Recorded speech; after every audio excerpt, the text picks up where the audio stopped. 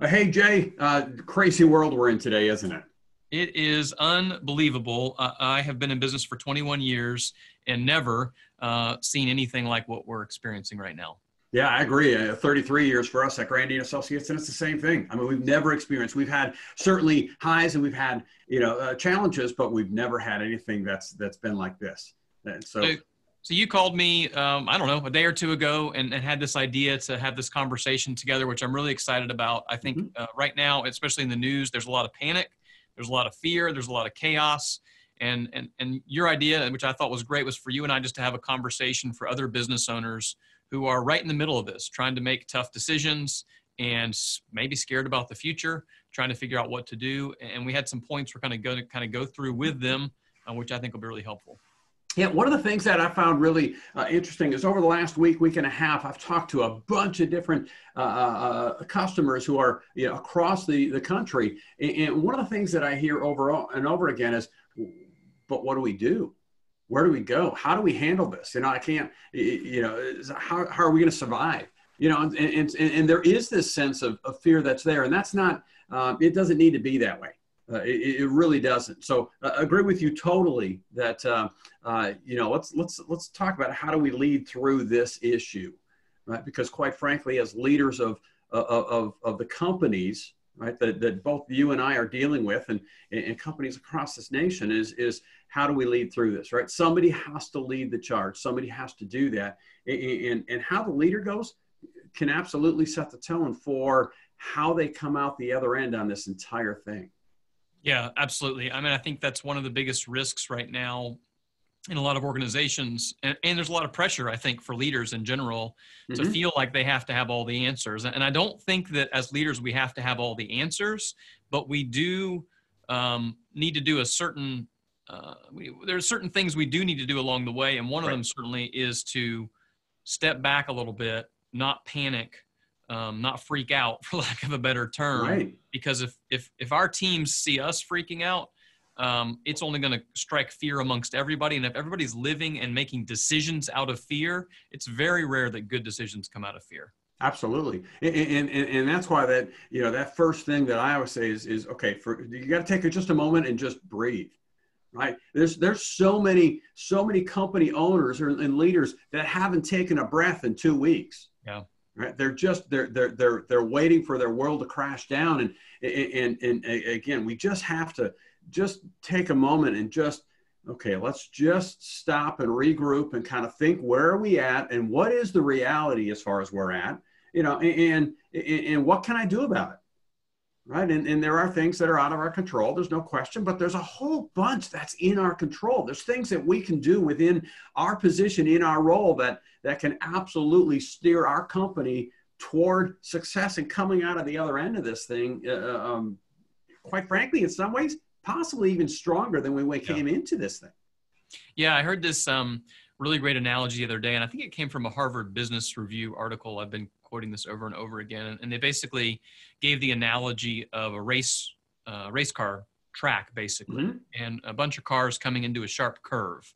And the idea was essentially that all businesses go through sharp curves in business at some point. And you guys have been in business for decades. We've been in business for decades. Some people listening maybe have been in that same place, but none of us have seen anything quite like this. This is a very mm-hmm. unique scenario um, but but the way the analogy worked was basically this: some race cars, as they come into the corner, they apply their brakes too hard, and they don't have the right angle going into the curve, and because they've slammed on their brakes, they have a really hard time accelerating again, and they fall way behind or aren't mm-hmm. able to finish the race at all the other people fall off the opposite end of the curve, is, which is they don't slow down at all. They don't take a breath, like you said. They, they, they, don't take a minute to kind of go, hold on, what's going on here? Let's just let's survey the land. Let's take a deep breath. Let's step back. They don't do that. They just press the accelerator through the curve and go, it's fine. I'm not changing anything. I'm mm-hmm. not paying attention. I'm just going to drive on.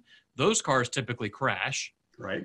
But the cars that win the races and the businesses that win the races out of recessions uh, are are usually the ones that see the curve approaching Mm-hmm. They put a little bit of a brake on, and and then as they start to turn, they have the right angle on the turn, and then they accelerate out of the turn. And, and those can actually be the moments where businesses in this Harvard Business Review article they have this graph, and they show the businesses that do that successfully actually accelerate out of recessions, not mm-hmm. the other way around.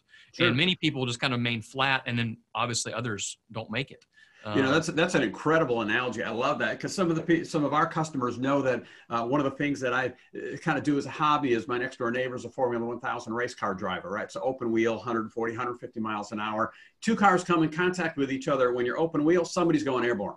Yeah. And, and, and, I think back to that exact analogy, Jay. We've got a, a track here, a road course here, uh, uh, not too far away that, that really is our home course. And, and there's a point on the course where you come over the apex of a hill at the fastest speeds on the track, literally 145, 150 miles an hour. And hmm. 300 yards later is a hard left hand turn. So in 300 yards, you have to go from the fastest spot on the track to the absolute slowest spot on the track. And like you said, control your way through that curve. Now, the problem is, you know, I'll take that analogy one step farther because it really is a good analogy is that, that, you know, okay, I'm coming up on this curve and I've got to, you know, uh, manage the, my way through it, you know, the angle, the speeds, the, the, you know, all, everything else. But I can do that by myself. But then the challenge is there's another car right next to me. Mm-hmm. And, and, and, and he screws it up and I have to kind of be responding to him a little bit as well right? And so uh, you know how do you know and that is also one of the other challenges right is is all the other companies that we're dealing with that are impacting us in what we do and how we respond to some of those uh, uh the, you know whether it's them doing things properly or them making mistakes or, or, or, you know all of that impacts us. And that's that's kind of that economic feel that we uh, that, that, that we're currently you know living in here as well. Yeah and i think that's part of why we're wanting to have this conversation mm-hmm. too is to is to kind of pull the curtain back and let other business owners kind of hopefully glean some ideas but they may have ideas too that hopefully they can you know leave some comments send an email in and, and oh, share those with us because uh, lord knows I, I, have spent more time over the last week or two embedding myself in other communities talking to other business owners finding out what's working what are where, what are they seeing ahead? Because not to overuse this race car analogy but uh, uh another kind of piece of the puzzle here right now and i think this is the hardest part is that we don't have clear visibility of mm-hmm. how sharp that turn is and when it's going to end. And so it's kind of like we're driving in the fog and the rain. Uh, mm-hmm. I watched that new uh, Ford versus Ferrari movie recently, which is really good. And Me there's too. a couple of scenes where he's driving in the rain and driving in the fog, and I think, man, I, I would be dead. There's just no way. And in business, I think right now that's how people feel. That's how I feel right now. Is, is mm-hmm. I'm kind of going, okay, I'm in the fog, I'm in the rain a little bit, and I think that getting in good community and speaking to other business owners helps me um, have a little better visibility of what that curve looks like. Mm-hmm. Um, and, and so the second thing you had on your list here that we were going to talk through, which I think is really relevant as it relates to driving in the darkness, yeah. is don't make decisions in fear. I mean, talk yeah. about that idea a little bit. Well, I think you know, again, there's so many that uh, that again we look at this, we're afraid, we're make, we're making decisions uh, out of fear, and, and the problem is when we make decisions out of fear, we lose all sense of rationality. Mm-hmm. right? We, we, we, we, we're not making smart decisions at that point. And, many times the decisions we're making end up hurting us. You know, in fact, quite frankly, they can sometimes put us out of business when we make decisions from that perspective. Right? They're not wise. They're not wise fiscally. They're not wise uh, for my team. They're not wise, quite frankly, for me. If I'm mm-hmm. if I'm basing them out of fear, and I think at that point, uh, you know, a lot of company owners they're, they're blinded um, and so they make decisions without any information. Right now, yeah. there's, yeah, I think there's some personality styles that are comfortable making decisions with no information. Doesn't necessarily mean they're good decisions. That's right. right? Because you know some of those uh, you know, individuals go, okay, well, if I made a bad decision, that's okay. I'll make another one. The problem is we've got to make sure that we're making proper decisions right now, so that that wrong decision that we made doesn't necessarily impact us negatively moving forward. So I think that's so critical that we make decisions, you know, from, you know, what is the best information and, and we're not an island, right? Mm, some, some right. of our customers in both cases are, uh, you know, are, are working in communities where they're in a lockdown or they're, you know, they're, they're ha- everybody has to work from home. You're still not an island, right? We'll get into one of the things a little bit later that I certainly want to, you know, talk to you about because your, your, your team is good at it. Some of the technology that's available today, mm. right? You know, as you said, you mentioned a couple of times that you have reached out to other members of the community or other areas, uh, you know, to, to get a little bit of their perspective. And, and, I have to, you know, what does that do when you're doing that, Jay? What does that do to, uh, to, um, address some of the fear that you have as a leader? I think that, you know, one of the things people always say about leadership or about especially small business owners is you hear this term it's lonely at the top. Mm-hmm. and that is or can be true because nobody's ever going to love your business as much as you love it especially if you're the owner especially if you're, especially if you're the founder. If, it, nobody's going to love it as much as you do.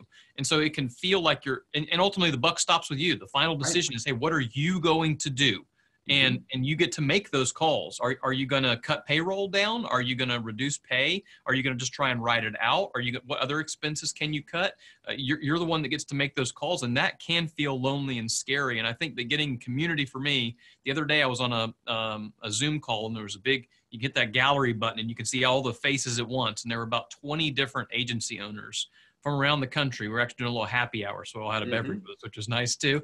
and there was something about that shared camaraderie to go, hey, all of these people are experiencing something similar to me. Mm-hmm. It's different. All of our lives and experiences and businesses are different, but there is a shared reality to that. And, you know, it's kind of like um, when people go into a dark room Mm-hmm. Uh, or take it one step further and do like a Halloween, like a haunted house. My uh, I've been down to Halloween Horror Nights at Universal Studios, which is pretty wild adventure. And what you'll mm-hmm. see in those environments is the darker and the scarier it gets, the closer people get together. They, they, they and this is definitely not uh, uh, COVID nineteen certified.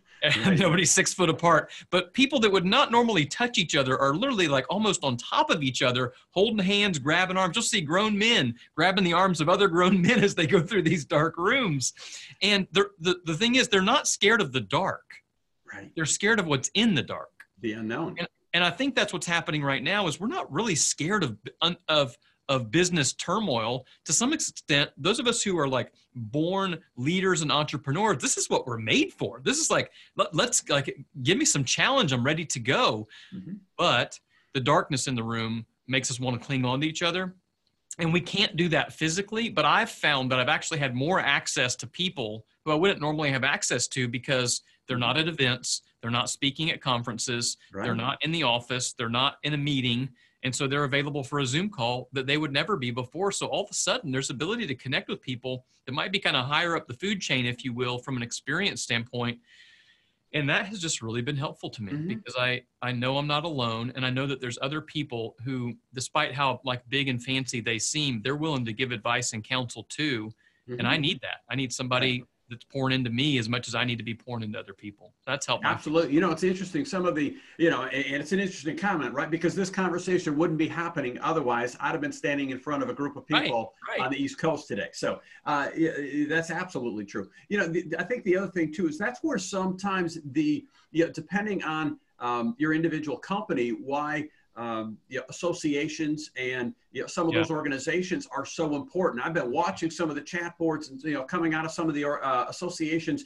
uh, in, in, my space, and you know just some of the conversation from business leaders, some of the um, you know the assistance that they give each other, some of the um, you know, just you know, kind of hang in there, or you know, here just solid, good, solid advice. Here's what we're doing to address this situation. I think that is again, th- there's a lot of comfort that comes in, in being able to communicate with other people. That's a really important point, and I think that needs, to be talked about more. Maybe that's a whole blog post. Actually, is mm-hmm. is around associations or organizations or groups.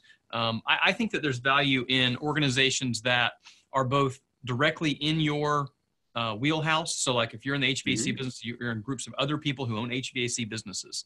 And then there's also value in being in groups of other business owners.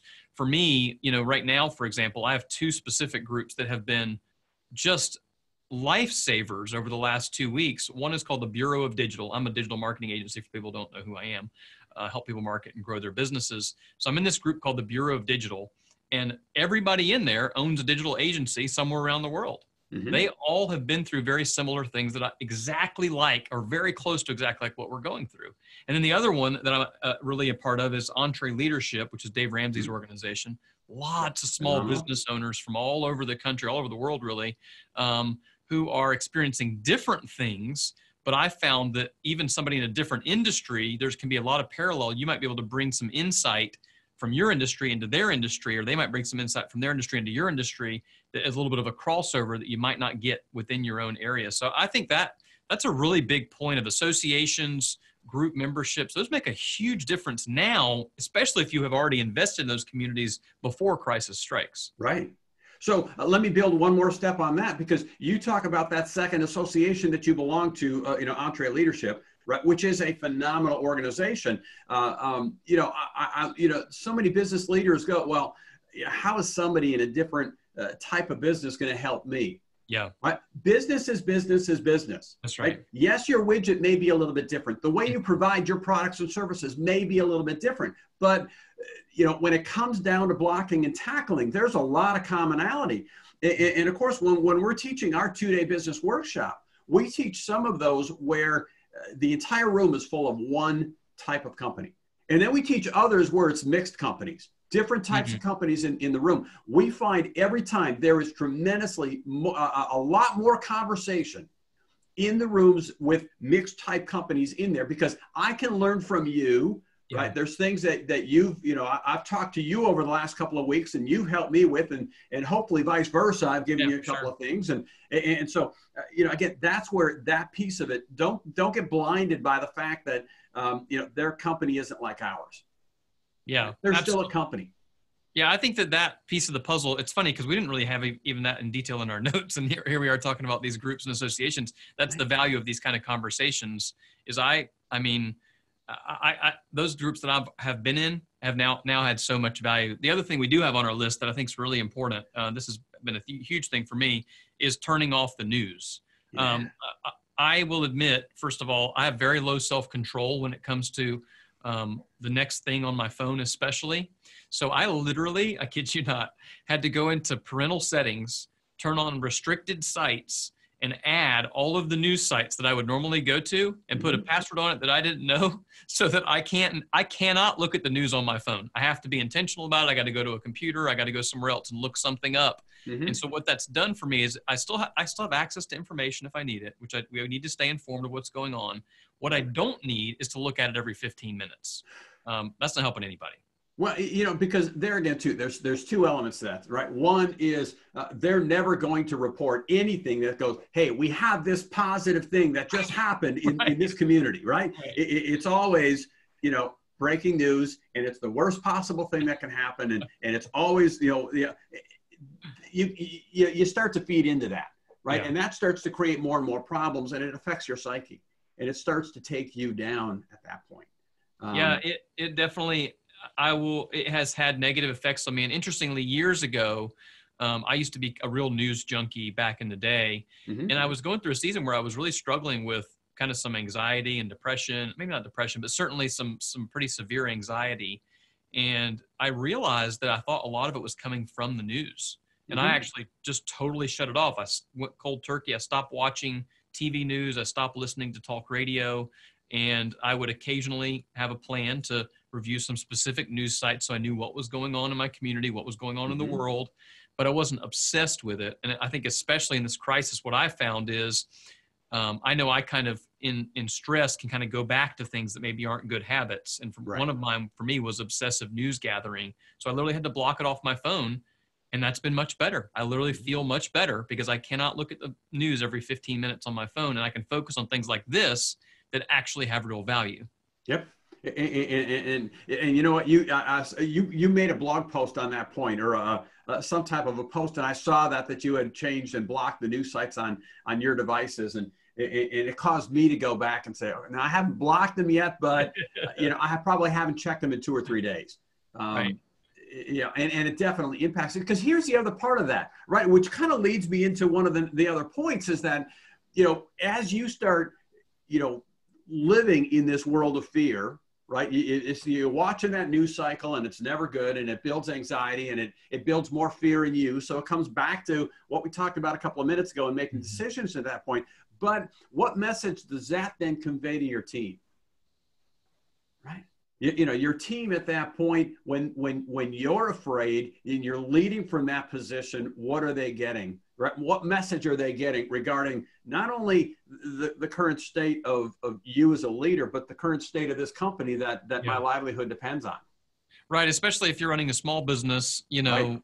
uh, because there there's a certain stability to some extent to working in a large corporation. Maybe not, but but the ones with the right cultures that there is because you know how much money they have in the bank. Mm-hmm. If you mm-hmm. work for Apple right now, you know they have a ton of money in the bank, like billions okay. and billions of dollars. They're, they're going to be able to float payroll for quite a while without any worries. Same thing with Facebook, things like that. But small businesses, I think about the unknowns that I have and I have full access to every single number, every single detail of the current company. I just have unknowns about the economy. Right. And if you think about the team, the team has the same unknowns about the economy in the future, but they also have unknowns about the company itself. Yeah. I mean, how much money do we have in the bank, and how mm-hmm. long is that going to last, and, and, how many clients can we afford to lose, and what do we need to do in the meantime? Um, and and that fear can just get uh, doubled down if the leader is is acting out of fear and panic too. Well, tied in with that, then, you know, so many of the companies, you know, right? So my company today is going through, right? Our, our state is going into, you know, their, their lockdown tonight, mm-hmm. right? So um, we're going to be forced to, to work from home. Uh, part of my team works from home and they're comfortable with that. The part that, you know, the, the group that comes into the office every single day, I mean, yes, I'm telling them they're working from home, but there's a sense of, uh, you know, a little bit of anxiety on the part of the team. They're going, okay, I'm, I, I can no longer go into work yeah. Right.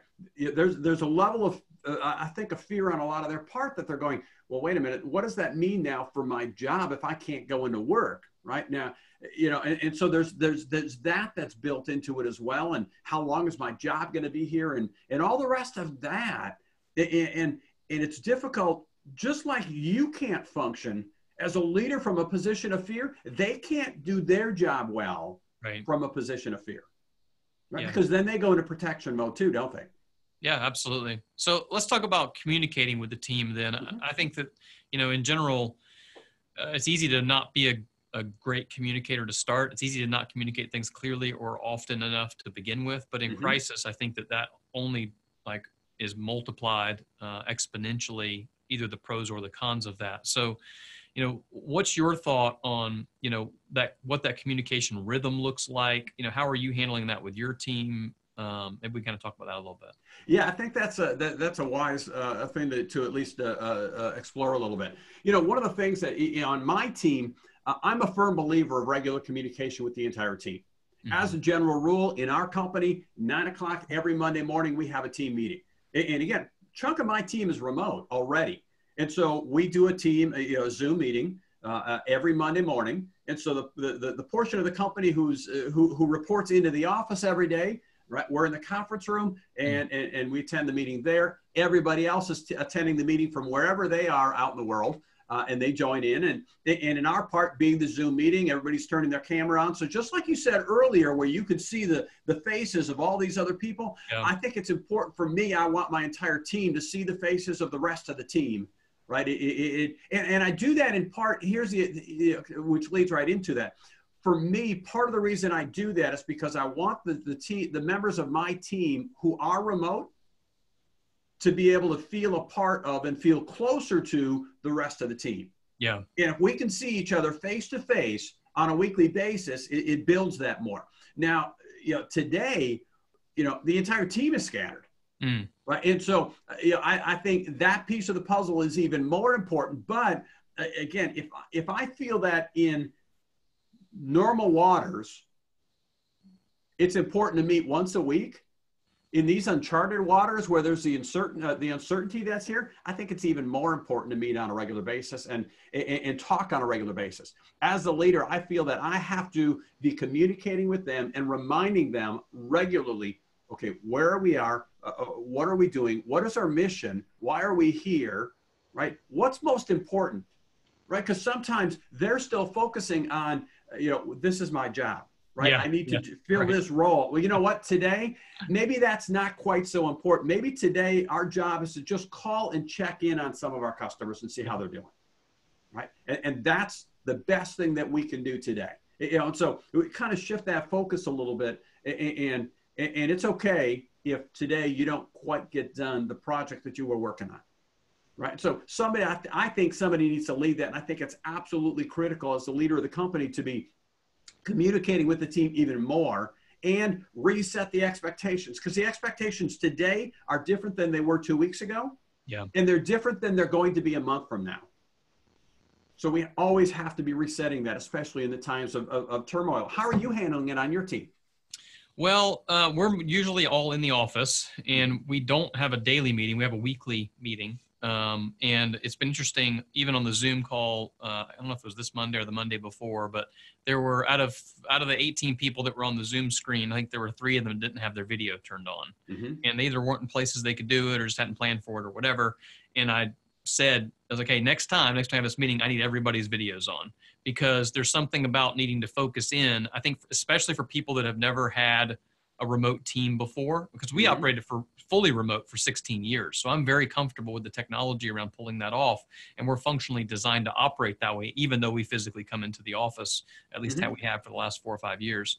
Um, so, you know, what I have done personally is I've really increased my cadence of communication through Slack and through setting up one on ones and setting up Zoom meetings, both individually and in team meetings. I'm also dropping into team meetings more often than I would have normally before. Mm-hmm. Um, and mostly my role in that is twofold. One, just to encourage everyone and go, hey, look, I know this is a scary season. Some people have family members that are, you know, they're worried you're going to get sick. Mm-hmm. Some people have friends or family who are already getting laid off or already having pay cuts. And that's scary when you start seeing that around you. Um, and so the waters are already so muddy that people are scared. And I think my, one of my primary responsibilities as a leader is to encourage my team hey, we're going to get through this. I'm not going to carry you through this. We're going to get through this together. Right. My job is to help lead us there, but but we're going to get through this together. And then the other is like you said, which is to help people focus on what actually matters mm-hmm. because it is easy to get stuck in like our daily tasks, daily routines and there right now people need to be thinking where do I need to back up and how can I what do I really need to focus on right now um, as a priority.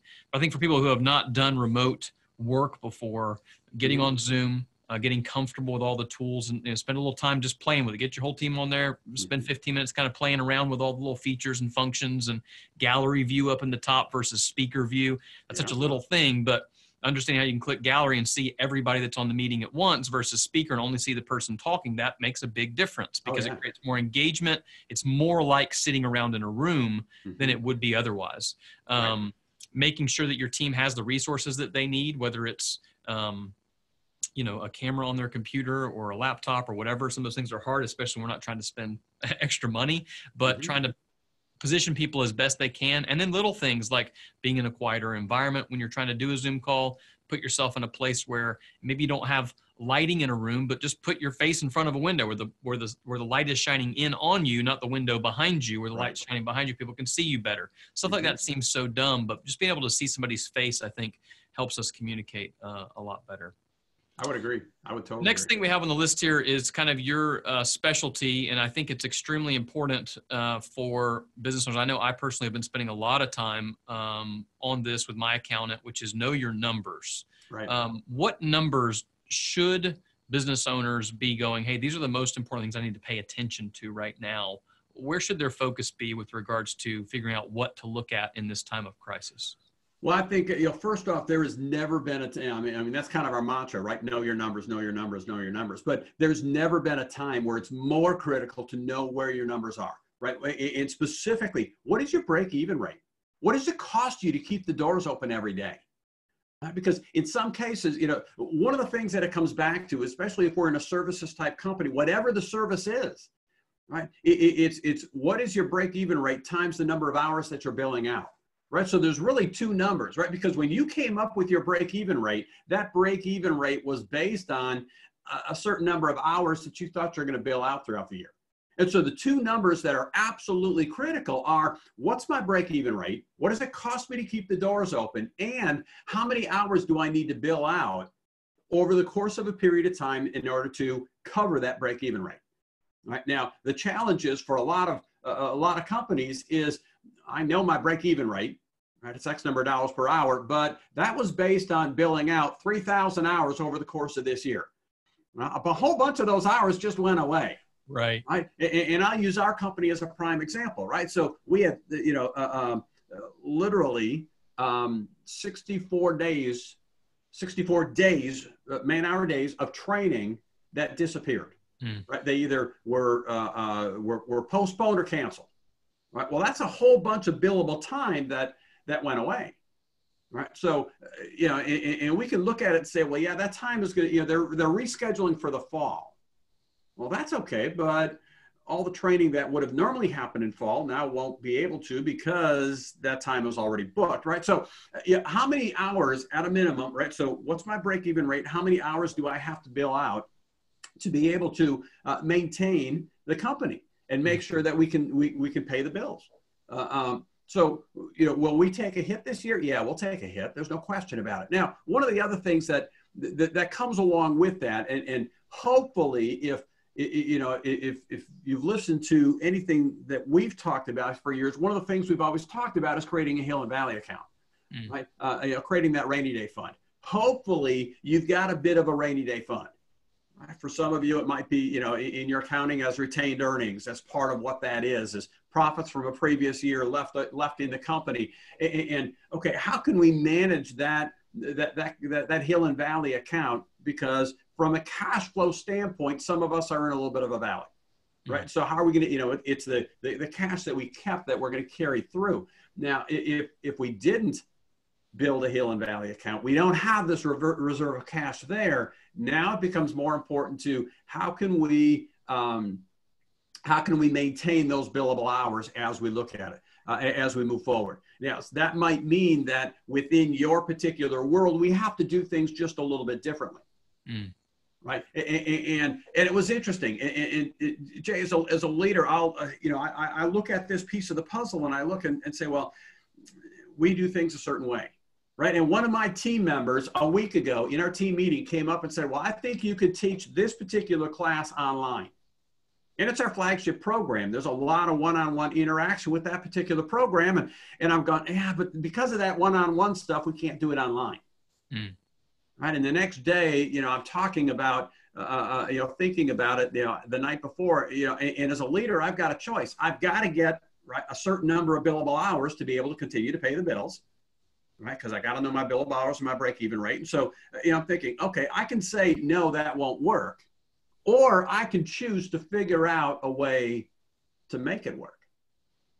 Right. And so sometimes it means we have to do things a little bit differently. We're ready to, within a week, run that program as an online program. And part of that came back to, again, I'll revert back. You and I had a conversation and you gave me an idea. And by golly, we tested it out and it's going to work awesome.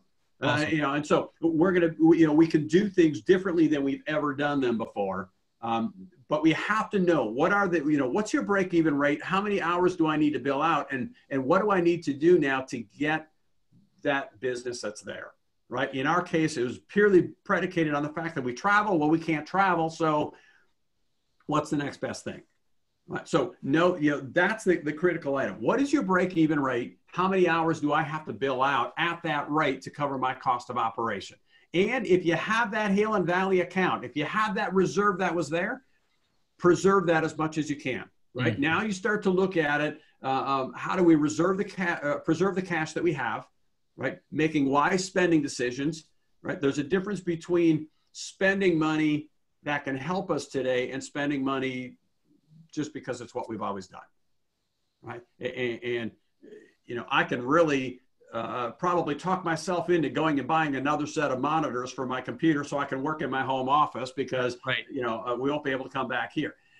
Might not be the, the, the, greatest choice, but will I spend a chunk of money on this new delivery method for us to be able to deliver our product? product? That makes all kinds of sense. Yeah, you have to, and I think it's interesting to see how those opportunities arise, and to some extent.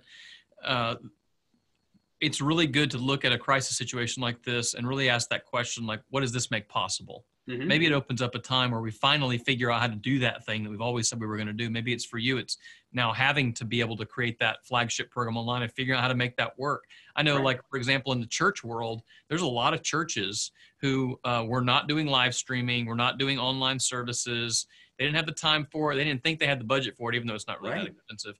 And they um, just hadn't done it. And now pretty much every church has every an church online service. And what's so interesting about that to me, just from a promotion standpoint, you know, is that uh, on Sundays now, my entire Facebook feed is like, live stream of this church, live stream of this Mhm. church, all this like, and there's all this extra attention that didn't exist before. So that kind of creates an opportunity, I think, that didn't exist before.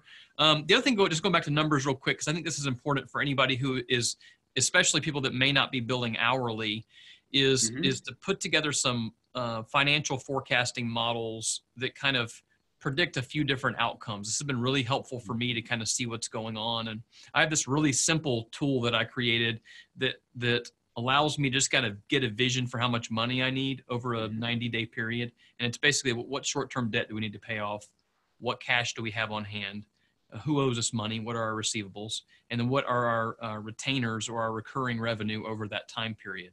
Mhm. I have a little formula and it comes up with kind of a 90 day cash flow estimate. And I know what that needs to be um, in order to hit our, like you said, to hit the break even point. And I know what it would, what I'd like it to be to hit our goals. And so now what I've been able to do is take all those numbers because what I've realized is that just because I have this big uh, amount of receivables, that doesn't matter if those people can't pay me Right. Just because I have a, a, a large number of recurring uh, revenue clients, if those people go out of business where they just can't pay it anymore, Mhm. that uh, that doesn't matter. And so what I've done is I've created a, a financial model that kind of shows me, hey, if 100% of our receivables and r- recurring clients pay, here's where we're at, and uh, here's what our cost per day is to run the company. And so I can take that number and I can go, all right, divide that by the cost per day. Here's how many days we have to operate if we sell nothing new. And then what if only 75% of those people pay their bills? What if only 50% of those people pay their bills? What if only 25% of their people pay their bills? And I can just see it at a glance. And that has been a really helpful little tool for me because we rely so much on our recurring revenue uh, from clients that exist. And we don't bill them hourly per se because they're kind of packages and products that we offer. And there'll be other, maybe other people listening that do something like that. So that simplicity helped me a lot. And the other thing that, that I've been kind of forced into doing now, thanks to my accountant, is really a daily cash flow analysis. Um, and just like daily predicting over the next 30 days what money do I have coming in and what money do I have going out? Just very simple stuff. Mhm. Um, but being able to see that ahead of time, I can make decisions ahead of time so that I'm not making them in panic. And I think that's kind of the point of knowing your break even point, knowing what your hours need to be, knowing all these specifics, because then we can make decisions now that if we hit certain trigger points, I got to make this decision. Yep. Hit this trigger point, I got to make this decision. You know, and I think that you know that one point it, it is very critical, right? I, when I said you know know your break even rate, know your hours. The other thing that that that naturally leads into is the cash flowing in and out. Mhm. Right. You can't live based on your profit and loss statement because again, that can tell you you're making money even if you're broke.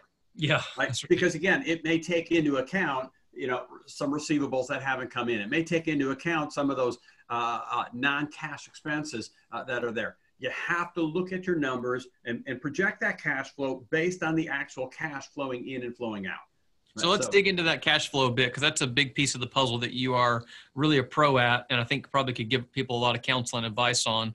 You know, what are some of the key areas, or where should we start with that conversation? What's the first thing they need to think about as it relates to preserving their cash flow? Yeah, well, one of the one of the big differences, and, and it's also a, a misconception, is uh, I have a bunch of business owners that say, "Well, Bill, I run my P and L on cash basis, and so um, so I'm already doing that."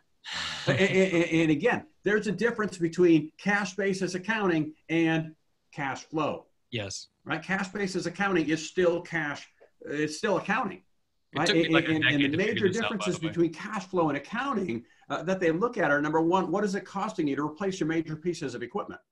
Right. So there's a cost to doing that. Um, you know, accounting is dealing with, uh, uh, you know, you've got depreciation, which you look at, which deals with what I paid for a piece of equipment several years ago. Cash flow, on the other hand, is going to deal with equipment replacement costs. What it's going to cost you to replace that, that equipment will be 25 to 35% higher than what's going to be listed in your depreciation. So we're already underreporting what it's costing you to run the company. Second major difference is if you have any loans. If I have a $500 monthly loan payment, um, and out of that $500 payment, $400 is going to principal and 100 is going to interest. What shows up on the profit and loss statement? It's only the $100 in interest. The $400 in principal that you paid doesn't show up at all. I mean, so apparently that wasn't an expense, right? But again, all 500 came out of the checkbook as cash flow, but the P&L only only recorded $100. The P&L will only report the actual interest expense, not the principal payment. And now when you compound that and well, I bought a truck or I bought a piece of equipment, that's a zero interest loan. That means the entire loan payment is principal and none of it shows up on your profit and loss statement. You have to be taking that piece of the puzzle into account. That's why you can't look at necessarily just the the you know run a P&L out of your QuickBooks and see what's what you know what it's telling you. What is your actual cash flow? What are the dollars that are flowing out of the checkbook? And make sure that you're accounting for all of them. Those are the two major the, the two big ones but you know there are a couple of other smaller ones that will impact you as well. So putting together that you know that projection what is it going to cost me today, right, to, you know, what checks do I have to write out that today, this week, this month, laying those out, what's the revenue that I actually have coming in, uh, and, and, then, you know, you know, basically managing that piece of the puzzle. How many days of cash do I have on, uh, on hand? Uh, and how long can I keep running if nothing else comes in? That was, that's an important, um, an important metric to be looking at on a regular basis.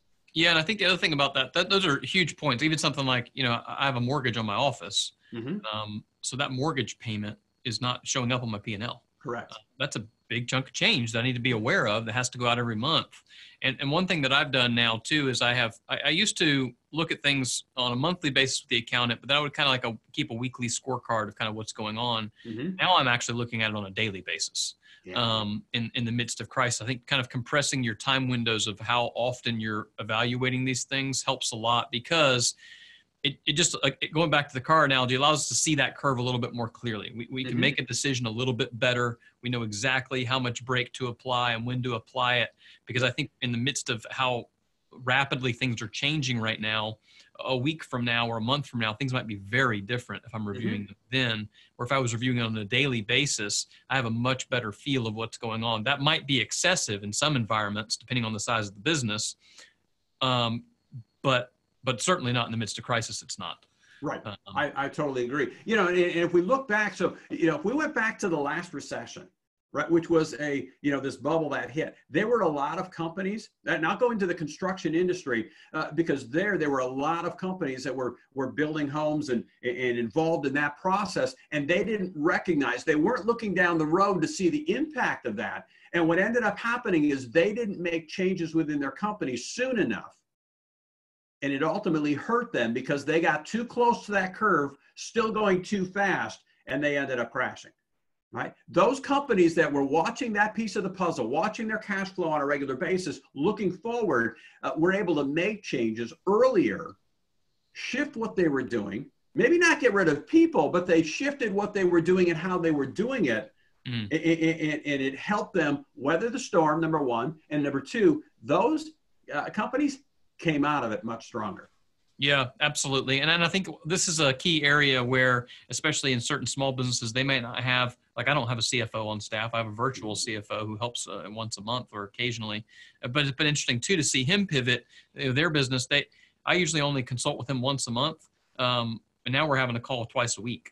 Yeah. Um, and and he is graciously doing that without charging me any more than what I already pay him on retainer, because ultimately he wants to, like the rest of us, he wants to show his immense value in the time of crisis. And so he's willing to put in more hours, more work, more hustle than he might otherwise do. And I guess he's doing that with all of his clients. So he's kind of got a ton more uh, work that he's having to put in now. Mm-hmm. Um, but he's doing that to help me get through this. And, and, and man, when he helps me get through this, how much more kind of committed to him and his company am I once we turn outside of the curve?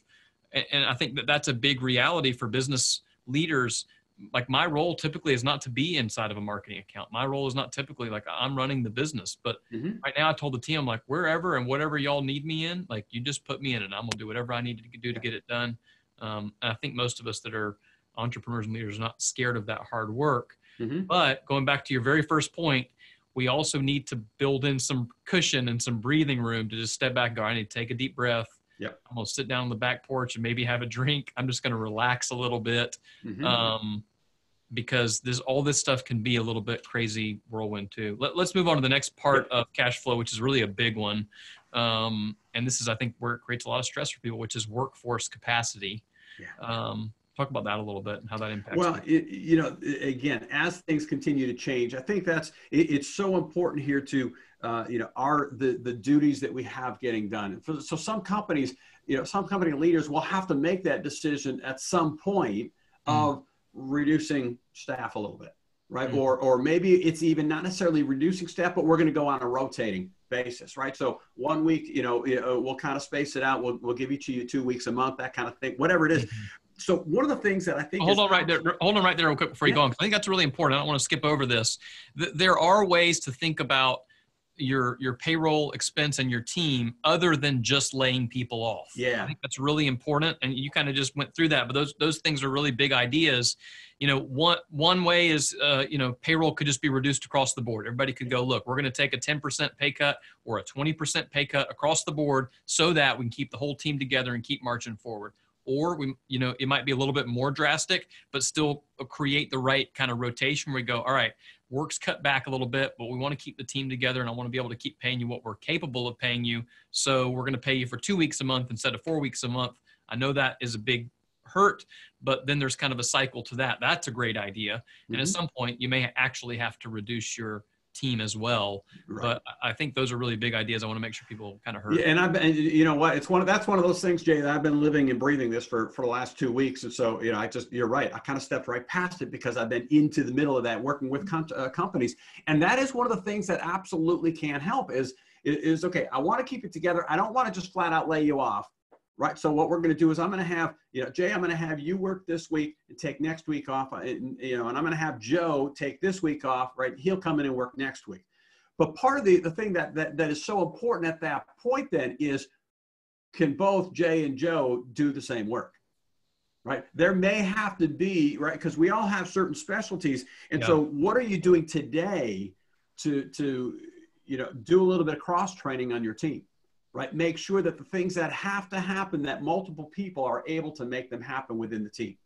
Um, you, you know, and, and one of the things that we always talk about outside of the crisis is you know can you pass the school bus test it was the leader of the company can you pass the school bus test and and, and, and meaning if i you know am out taking a stroll you know next week i live next to a school if i get hit by the school bus uh, can my company still survive without me right? Well the same thing within crisis you know in this time is absolutely critical is you know if, any one person on your team is not there right if you know, then can can somebody else fill that role? Yeah. And so, and, what kind of it might happen for other reasons too, like it, because they might end up actually sick, right, or they might yeah. have to have a close family member that they have to be taken care of, or something else. So it might not even end up being because you had to lay them off because you had to cut the team down because of things that are outside of your control too. And so that's yep. another good point of why you know the team needs to be cross trained to some extent. There has to be somebody who can help come take that backup, and depending how big you are, it can't always be you as the leader. I can right. do every job at my company, um, but most of them do those jobs better than I would do them. Mm-hmm. And so, but I can't always be the one who's the backup. I, I, need to have some layered responsibilities in there, so there's some overlap for sure. Well, and, and the other point of that that's really important, Jay, is if you are the backup all the time, pretty soon you're going to be you, you, don't have enough time to be doing all the backup roles that you need to do, and you can't lead the company. Mm-hmm. Right. So yeah, that's right. And then you have a real problem because all these things like managing cash flow and figuring out what the numbers are, knowing what the next decisions are, those things really do have to be done. Yep. Um, they cannot, and and there are certain things like that that there is nobody else that can do it but you as the leader. Yeah. And I think those are things you have to decide. What are the things that I absolutely must do today, and then let me put myself in a place where I can be available to help other people depending on what their needs are. Yeah, you know, Jay, there's when it comes to this piece of the puzzle and workforce capacity, there's one other element that we tend to overlook a little bit.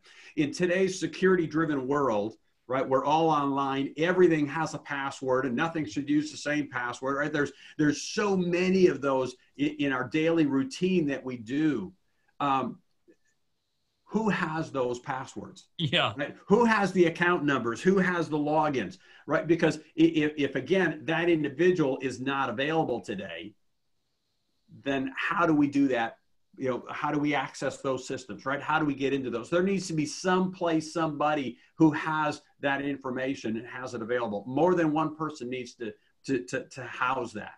Yeah, and a great a great tool or resource for people who have a lot of online passwords and they need a way to distribute those and share them securely with a team. This is not an ad. I actually use this tool.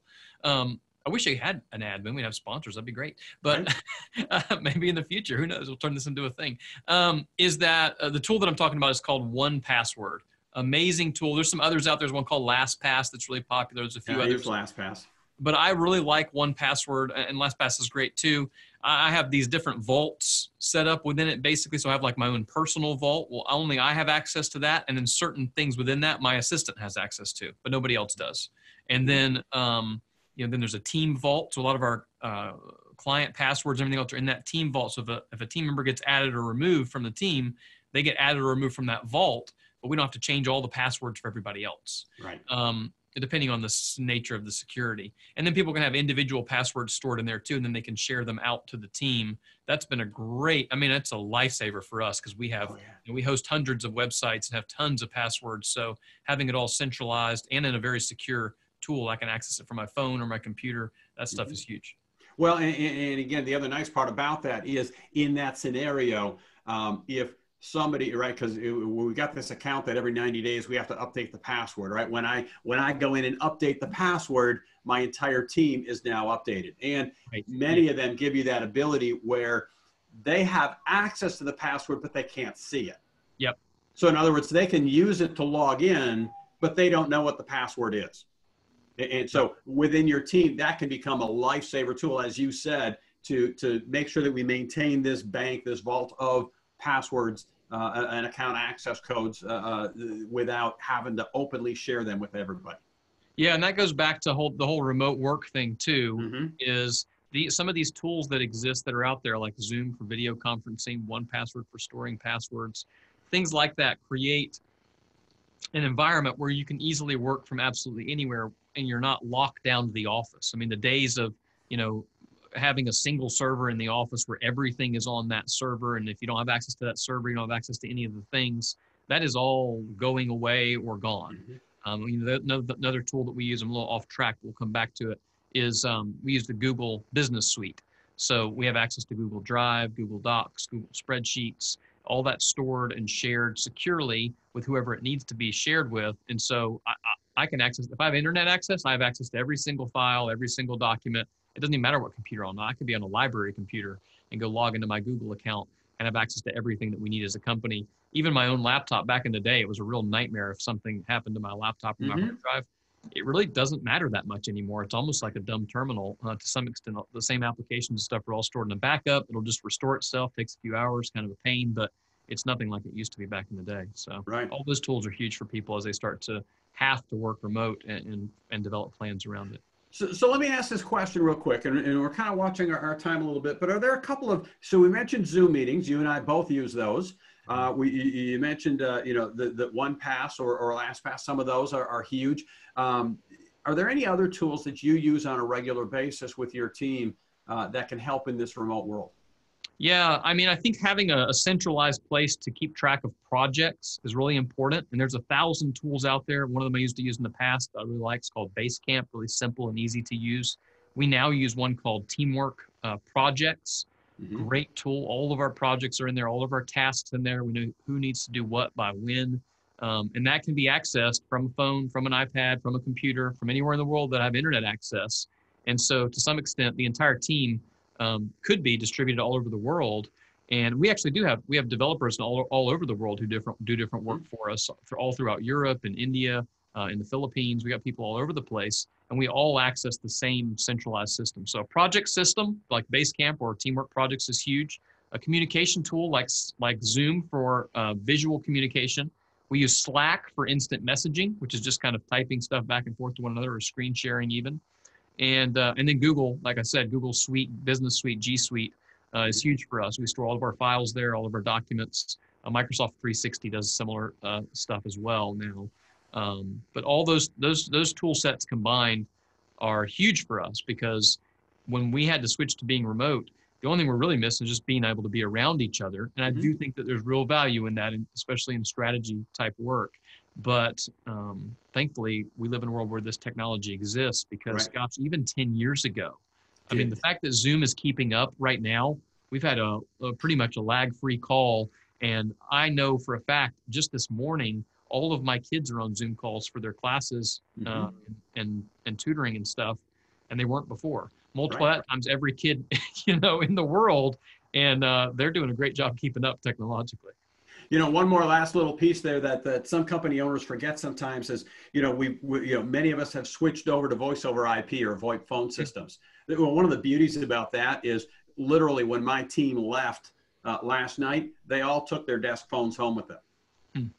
Because literally at that point the beauty of that system is they can go back to their house they plug in their phone it comes up online and at that point um, it uh, um, one moment here. At that point it automatically uh, uh, just comes up online.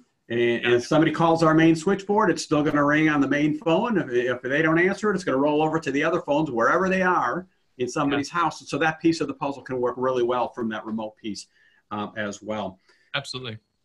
You know, one of the other things that uh, that I think is is worth talking about here, quick, and there's there's two real points that I think are critical. The first one I want to cover relatively quickly is um, you know, looking for other opportunities. Hmm.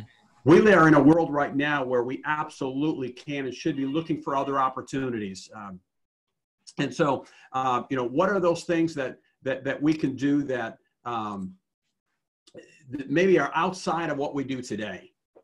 right? You know, that, that we don't normally, uh, uh, aren't normally engaged in, you know, and I, and I think of, you know, there were three real quick examples that, that, that I've, you know, come encounter with here just in the last real short, uh, a couple of days is, um, you know, there's a pizza parlor here in town that, uh, of course, they, all the restaurants are closed. You know, their entire business was, you know, in restaurant business, sit down, dine in only. Um, well, today they, they have a delivery right? That's everything they're doing and their entire menu is delivery. But they took that one step farther, right? Because every restaurant can do delivery, but they're, you know, of course, with the shortages, there's people who can't get out to do grocery shopping. There's people who can't get out to get supplies, and you know, and so they're going, well, they they actually started marketing on their Facebook page to their customers. Hey, we can do that for you right? I've got an entire team of people here looking for things to do. If you need to have somebody, we can order this stuff in from our suppliers. We're going to put together a box, Eh, a call it a care pack, whatever you want to call it, right? But but but we're going to have some staples in it for food. We're going to have you know toilet paper. We're going to have some of those other things that are in it, and you can order this on our website just like you can order a pizza. Yeah. And our team will deliver it to you just like we do anything else. I mean, that's thinking outside of the box. I think about, you know, earlier you mentioned churches that are streaming online. Well, you know, our church downtown, we have a relationship with one of the homeless shelters, and and and, and there's a particular homeless shelter in, in our town that that shut down completely. Mm. Wow. And, and so there's this population that needs some kind of care. Well, we've got an entire building that's being totally unused. Mm we partnered with the remaining homeless shelter and and and my god you know right now you walk into the worship or into the you know the worship area and the gathering area and there's mats all over and you know there's a whole you know population there. We can still do something totally outside of what we do on a daily basis. And yeah. and the third one i think of is is is all the distilleries around the country that are, are stop producing product right? You know, and, and they're now they're they're they're actually producing hand sanitizer. Yeah you know, they. There was even a big, a big like I think it was like a perfume producer or something in France that's now they they've converted their entire factory into producing hand sanitizer instead. Yeah, and it makes total sense. I saw a Facebook ad yesterday where Anheuser Busch was doing some of that. Yeah. Uh, you know, and, and, again, so you know, again, a lot of these places that are doing that, and they're kicking out, you know, several thousand gallons of this stuff a day. Yeah. Right. That's thinking outside of the box, right? What can I do today to still help my community, mm-hmm. yet still provide some kind of revenue to my business and make you know uh, help my team. Yeah absolutely. I think those things are are huge. And it's amazing. I, even like down the street from us there's a place called maple street biscuit company. Mm-hmm. and they, they all sit down dining. And it's not i don't even know if they're doing delivery but they're actually selling all kind of other stuff that they have access to because of their commercial providers. So they they turned the place into like a produce market because the grocery stores are out of produce. You can't go get any. The grocery mm-hmm. stores are selling out of everything. So they're they almost turned themselves into a grocery store. They got toilet paper out there, which is like yeah. solid gold now apparently. Right. They've got, they've got paper towels. They got produce, and you can just go buy it from there because the grocery stores are running out. And they, again, they're just pivoting, trying to ultimately survive through the curve so that uh, they can come out the other side. And, and, what I've been encouraged by as we start to kind of round out here, one of the things that's really been encouraging to me is I've, I've had multiple other business owners, you know, you're one and, and several others who have called, Hey, I got this idea and I'm working on this thing. And sometimes it's just putting together a little Zoom call. Sometimes mm-hmm. it's this other bigger idea that they go, you know what, I'm, I've got some time on my schedule now the next couple of weeks. I've been thinking about doing this thing. Now I'm going to finally put together this idea and, and get this thing moving so that when we come out of this, and we will, we will mm-hmm. come out of this. I think that's a big thing. Like people we listening, will. yeah, we will come out of this. Uh, Americans and humanity as a whole has gone through much, much, much, much, much worse, yes. and and we will make it out of this. And mm-hmm. and and I believe that if we keep our heads up and if we stay encouraged, we're going to make it out even better. But I'm encouraged by the entrepreneurs. I'm encouraged by the leaders who are not wasting the time sitting around watching the news, worried and fearful. They're using the time to do things they couldn't have otherwise done. And, and what does this make possible is such a huge question for me. Well, t- kind of tied in with that a little bit, Jay, and I, and I don't want to lose this point. I think it's an important one. And it's really an area that falls right into your area of expertise is what about my marketing expenses? Yeah. Right. I mean, you know, you, you told me, Bill, we should be doing things to kind of res, uh, preserve cash a little bit. Uh, how do I deal? What do I do with my marketing expenses? Because it's not like doing an advertising today is not necessarily going to help me, is it? Yeah. What it just say to that business owner. Yeah, that's a great question. I think it's really important because for a lot of people, you know, somewhere between potentially five and even 10% of their budgets are going to marketing and advertising because you right. got to get the word out if you're going to acquire new customers. And a couple of things that I think are really important as it relates to marketing in this environment. Number one, you can't be tone deaf to the reality of what's going on. Right. It's really important to look at, especially any scheduled posts. If you've got posts that are scheduled out of the next month or two, sometimes sometimes we'll even schedule posts for a client over a whole quarter. We've had to go back through every single one of those and go, is this okay? Mm-hmm. It might be perfectly fine, you know, uh, but is it a hard sell? Is it something that's a little bit more, you know, overly direct? Is it is it not paying attention to the reality of what's going on? Mm-hmm. Maybe the language on those things need to be adjusted. Right. Um, there's a great quote, and it's attributed to Henry Ford, although he probably never actually said it. You know how these internet quotes are. Um, but he said something like, you know, stopping your marketing in order to save money is like stopping a clock in order to save time and and ultimately stopping the clock does not save time. Time keeps moving and business is going to keep moving. And, and and and this applies directly to that race car analogy. What some people are going to do is they're going to completely cut their marketing and advertising budget. That's what some people do. Mm-hmm. and then when the curve starts to come back in they're going to be ready to ramp things back up but they're they're going to be starting over in a lot of areas. They're going to be kind of restarting an engine. They let the engine totally stop and now they're trying to restart it. And I think one of the most important things from a marketing standpoint is this is an opportunity for companies to shine who they are in this mm-hmm. environment. It's an opportunity for them to talk about their core values, and it's, it's an opportunity to actually be involved with helping other people. It's an opportunity to produce content right. like this. This is marketing right now to some mm-hmm. extent right sure. and and we're both able to talk about the things that we're gifted and skilled at but we're not doing it to make money not right now, but at some no. point, becoming a subject matter expert over time creates long-term value. It's a mm-hmm. long-term investment. So to me, the marketing plays right now are a couple of things. One is about kind of highlighting and showcasing who you are as a company and why you do what you do. It's also mm-hmm. about showcasing potentially, depending on what the needs are, what you can do for other people now. They're going to help them in the midst of the crisis and what you're going to do to be able to help them coming out of the crisis. And at the end of the day, good marketing should be about the customer anyway. Right. What do they want? Has that changed? And if so, how do we change? Mm-hmm. What is the problem that they have? And has that changed? And if so, what do we have that can help address that problem? But if we totally stop it, it's the same thing ultimately that the that the government is trying to do right now with the economy. What we do not want to happen with the economy is for it to come to a dead stop.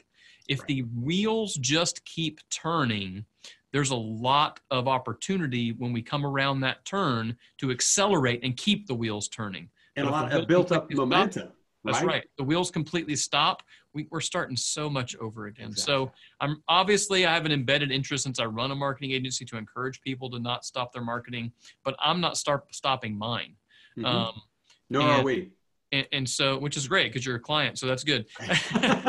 But but over time you know uh, what i want is i want to use this time to create good messaging and ultimately that's all marketing is. Marketing is just good communication. Mm-hmm. and you know these are the seasons where that communication matters the most. And so for people that are listening, if they have a marketing company right now that they're working with, they should they should have be in conversations with them just like they are with the, their accountants and going, hey, how can we communicate these things? We think our customers are dealing with these things. We want to help them. Here's some ideas of how we think and work together to communicate well over this season but also don't neglect the reality of planning for what it's going to look like for three months from now or six Right. months now. Mhm. Because in six months from now, we're going to be rolling out of this thing. Maybe the economy's not fully recovered. And I'm not saying it's going to last that long either. Don't be scared if you're listening to that. But in general, we're, we're going to be ready to roll again. And the question is, are your wheels still turning or have they come to a complete stop? Mhm. It's always harder to start from scratch than it is to, to, to, Always. to just kind of pick up and maintain again. That's right. Without a doubt. Well, Jay, we've covered some good content here. I think in the uh, in the last uh, hour that we've been talking, um, and, and gosh, we could go for for quite a bit longer. We probably could go all day, which is dangerous. right, no doubt. But I think we've uh, you know we, we've we've covered some of this. Again, that comment that you made a minute ago is so critical. This will pass. Mhm. right? We will come out of this. This is going to end. It's not, you know, I, I've heard heard the term lately again, and- and it's more media hype, right? Is is the new normal? I hate that term. Hate it. It's not a new normal. Not. This is a temporary normal. Yes. You know, it's just here for a short period of time. We need to walk our way through, and then we'll go back to normal. Yeah. And so it, it's critical that we remember that. I think it's uh, it's important to just uh, you know those couple of big items that we talked about, right? Breathe, stop, take a breath, right? Relax just a moment. Don't make decisions based out of fear, right? Take care of your team. What are things that you're doing to to not only take care of them physically but mentally and spiritually, and and, and, and making sure that they're still whole as they're walking through this thing as well. They're looking to you as a leader for some of that Yeah. Right. preserve your cash flow, right? Know your numbers. Be looking at that on a daily basis. Don't give that stuff up. Use some of the tools that are available on the, uh, uh, you know, the electronic tools for the remote working that we're doing today, right? Leverage those. Maybe it's an opportunity for you to get into something that you've not used before. That that when you come out of this thing, it's going to actually be a whole new piece of the puzzle for you that you haven't dealt with before. And, and I think, uh, you know, again, uh, just always be looking at what can you do different today how can we maintain that momentum as we uh, move through and come out of this thing? Uh, those are my final thoughts on it. Jay, anything else that you'd want to add to that? Yeah, you know, the last thing I would say I've been thinking about is there was a political advisor a little while back that got in a little trouble for saying this, but I, I think that the root of it is actually right. And he, I think it's the, the tone of how it was said, but he said something like, never waste a good crisis. Mm-hmm. And it come, that comes off very poorly when people are in serious crisis. Right. But I think as it relates to business owners and entrepreneurs, I would say that don't waste this crisis. And what I mean by that is, I'm not saying take advantage of people. I'm not saying overuse opportunity. I'm not saying any of that. What I am saying is get out from in front of the news. Don't sit and worry and fret. Plan, prepare, and work. I mean, entrepreneurs and leaders who are listening to this, this is what you're made for. And, and great leaders are not afraid of great crisis. If anything, they are the moments where they get to shine. And ultimately, our job is to encourage those people around us, which is what you and I are trying to do with everybody today, Right. and and find the bright side because there will be one. This is not the new normal. I hate that term too. Um, we're going to come out of this better and stronger. I, I believe that, and I'm encouraged uh, by our conversation today. Absolutely.